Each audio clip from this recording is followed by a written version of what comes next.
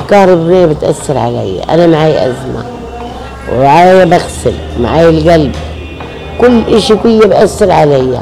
يعني طول نهاري حتى لما تيجي الكهرباء علي مروحتين. عشان أقدر أتنفس. طب والله العظيم بفتح باب الدار بنام على باب الدار. عشان أقدر أتنفس.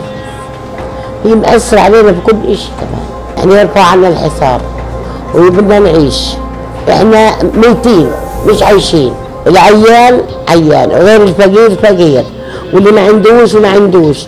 مش ده الاشي إلنا يعني حياتنا انتهت. والد ال- ال- المريضة رؤى ديب آه، اللي بتغسل آه، ثلاث مرات في الأسبوع. طبعا حالتها بتستدعي إنه لازم تغسل ثلاث مرات في الأسبوع. إذا تأخرت عن الغسيل يوم أو تأخرت ساعات معدودة ممكن حالتها تكون في حالة خطر. بالنسبة لموضوع الكهرباء طبعا موضوع شائك موضوع كبير جدا هذا. إحنا إذا قطعت الكهرباء طبعا بتأثر على حياة المرضى كلهم ممكن تؤدي فيهم للوفاه أو انها تؤدي حالات خطيرة جدا.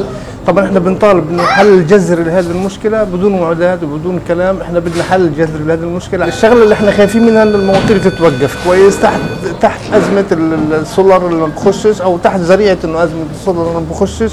فإحنا هذه المسألة بتخوفنا أو قلقانين منها وبتشكلنا توتر كبير جدا أو إنه إحنا مستقبلنا أصبحنا مش عارفين أو مستقبل المرضى تاعنا كلهم إحنا مش عارفين إيش المستقبل تبعنا. إحنا كشعب غزة كويس أو كشعب عايشين في غزة واهالي المرضى بالذات كويس سئمنا من الوعودات ومن الكلام اللي بيصير وسئمنا من كل الحلول اللي قاعدة بتصير ولكن كلها بدون نتائج وبدون فوائد وهذا طبعا أثر على نفسياتنا بشكل كبير جدا لأنه مستقبلنا أصبح مبهم وأصبح وا- وأصبح غير واضح.